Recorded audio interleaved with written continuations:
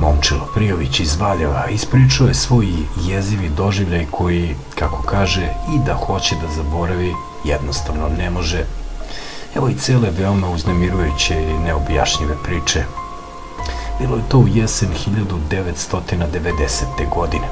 Tek što se vratio sa posla, javili su mu da je njegovom stricu Milutinu u rodnoj Mionici iznenada pozlilo i da ne znaju da li će živ dočekati zoru. Ne gubići ni časa, momčilo je seo u automobil i otišao upravo u Mionicu. Uskoro se ispostavilo da je panika bila bezrazložna i da je Čiča Milutin, kome je čašica inače bila veoma draga, tog dana jednostavno preterao u dozi, pa se onako mrtav pijan preturio sa stolice nasred dvorišta, a nesrećna strina Stanimirka ne mogavši da ga probudi, verujući da joj je čoveka strefila kap, nadigla kuknjavu i okupila komšije. Stigla je hitna pomoć, ali lekaru je odmah bilo jasno da to čiča samo tvrdo spava, pa su ga prebacili u krevet i dobro pokrili. Negde oko ponoći starac se probudio, čio i veseo i začudio se tolikom narodu u vlastitoj kući. A onda, baš kao da je iz mrtvih ustao, žene su iznale jelo i piće i nastalo je jednostavno slavlje i veselje. Oko dva časa iza ponoći momčilo je krenuo za Valjevo. Snega još nije bilo, ali je duvao vetar i padala je neka jeziva ledena kiša. Put je znao na pamet, ali vozio je polako jer je put bio klizav, a uz pečenje je popio koju flašu piva. Međutim, negde na pola puta između Divaca i Valjeva, kola su mu iznenada stala. Pokušavaju da ih upali na razne načine, zagledao se pod haubu i sve je bilo uzalud. Golf, benzinac, inače star u tom trenutku samo dve godine, na kojem nikakvu popravku nije imao do tada, jednostavno je potpuno otkazao. Gluvo doba, nigde nikoga. Samo vetar šušti kroz krošnje borova, kiša pada, sitna i ledena. Momčilo je umutao glavu u šal, navukao kabanicu i krenuo peške. Brzim hodom računao je, eto ga za neki sat vremena u Valjevu, a onda će rano izjutra pozvati kuma i sa njim doći po automobilu. Ne seća se tačno koliko je puta prešao kada mu se učinilo da ga neko prati. Znao je da zastane, okrene se, međutim nikog nije video. Pošto u principu nije strašljiv čovek, nastavio je putem mirno, verujući da mu se sve samo učinilo. Međutim, nije prešao ni stotinu koraka kad je jasno začuo šljapkanje čizama iza sebe. Opet se ukrenuo i opet nigde nije bilo nikoga. Mrkli mrak, izlokani put pun bara i vetar koji mu dosadno i uporno kišu konstantno baca u lice. Osetio je kako ga podilazi jeza, pa još dublje je zavukao glavu u kabanicu i ubrzao korak. Nije prošlo ni pet minuta, a video je nepoznatog čoveka kako korača pored njega. Momčilo se trgao i nazvao mu dobro veče, međutim ovaj ništa nije odgovorio, čak se nije ni okrenuo, već samo je nastavio da hoda pitanju je bio misteriozan čovek, visok, mršav, zagrnut dugačkim crnim kaputom. Lice mu se nije videlo od podignutog oko vratnika, već samo gusta seda kosa. Momčilo se zapitao dakle je ovaj čovek došao kao da je iznikao iz same zemlje. Ipak nije hteo ništa da kaže, već je samo ubrzao korak. Međutim, kako je on brže koračao, tako je brzo koračao i neznanac. I dalje su bukvalno hodali korak uz korak, uporedo. Momčilo je opet pokušao da počne razgovor, međutim, ovaj drugi je uporno čutao. Išli su tako dobar deo puta. Nelagodnost, jeza i prvi put čak i strah je obuzao momčilo. Po naravi inače bio prek čovek i naglo je stao, okrenuo se i rekao sada malo glasnije Aman čoveče, šta hoćeš?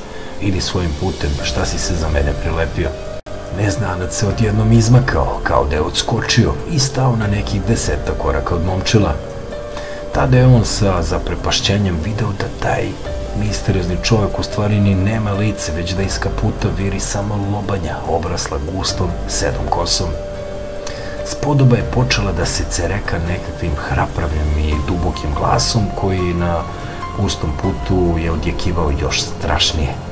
Prilika se zatim našla na suprotnoj strani, baš kao da je preskočila momčila. Ovaj se u nezvereno okretao, a Avet je nastavila da se kikoće, jezivo i potpuno zastrašujuće. Momčilo je potrčao putem koliko ga noge nose, ali Avet uvek bila ili pored njega ili ispred njega i stalno se cerekala. Obuzet užasom i sam je počeo odjednom da vrišti. Danas ne može da kaže koliko je ovo proganjanje trajalo, koliko je dugo pokušavao da pobegne. Čini mu se da je to trajalo beskonačno, jer čovek izbezumljen od straha nema osjećaj za vreme. Dok je trčao i bežao od utvare, sapleo se i pao. Odrao je i dlan i podlakticu, pocepao kabanicu, izgubio šal. Nije u stvari od straha ni primetio da mu krv curi, niti je zbog panike osjećao bilo kakav bol. Avet je bila čas daleko, čas maltene ispred njega. U jednom trenutku snažno ju je gurnuo, a ona se bešto izvila i odskočila, kikoći se još glasnije. U neko doba momčilo je ugledao farove iz suprotnog dela ulice. Ne znajući još uvijek da li sanja, pojurio je pravo ka automobilu koji mu išao u susret i bukvalno se bacio na haubu. Šokirani vozač i još dvojica saputnika jedva su kola primili bezumljenog i krvavog čoveka koji je govorio potpuno nepovezano, preklinjući ih da ga spasu. Oni su verovali da se radi o nekom obračunu kriminalaca. Sa strahom su ga ubacili u automobil i otišli ka Baljevskoj bolnici. Tamo su mu lekari previli ruku i dali nešto za smirenje. Jedva se setio svog imena, pa su mu ženu Zorku poslali tek oko pet časova izjutra, a kada je stigla, muža nije mogla da prepozna čovek koji je prethodnog dana iz kuće otišao potpuno zdrav, crne kose i veselog lica, sada je ličio bukvalno na starca i bio potpuno sed, bez jedne crne dlake na glavi. Momčilo je u bolnici zadržan još nekoliko dana. Uglavnom je čutao i lekare molio da ga puste kući. Njihovo pitanje šta mu se dogodilo ponavljao je da se ne seća. Odlučio sam da čutim, jer da sam im ispričao šta mi se desilo, strpali bi me u ludnicu, ispričao je ovaj čovek. Njegov kum je po automobilu otišao istog dana. Golf je radio iznenađujuće kao sat, a Zorka je pronašla muževlju šal nekoliko kilometara odatle, zakačan na žbunje. Momčilo je potpuno siguran u to da te noći nije ništa sanjao, niti da mu se bilo šta pričinilo. Spodoba je zaista bila stvarna, jer ju je nekoliko puta, kako kaže, čak i dodirnuo. Ali ko je to bio? Ili bolje reći, šta je to bilo? Mi danas, posle toliko mnogo godina, ne može da odgonetne i to što mu se dogodilo te noći jednostavno ne može da zaboravi. Njegova seda glava podsjeća ga svakodnevno na strašni susret i jezivo noć koja se dogodila krajem oktobra 1990. godine